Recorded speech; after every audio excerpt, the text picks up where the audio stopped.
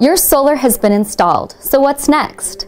We need to get approval from your local city or county permit authority, confirming that the system was installed safely and correctly according to the approved set of plans we started with.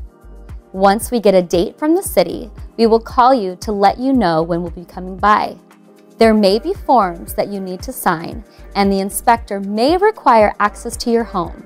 So we ask that someone over the age of 18 is available whenever possible. We don't always know when the inspector will arrive, but we will arrive ahead of time and make sure that we catch them when they get there. The inspector will check out the panels, inverter, wiring, disconnects, and other parts of the system to make sure that everything is on the up and up. Once we pass the inspection, they sign the permit card and we will be on to the next step.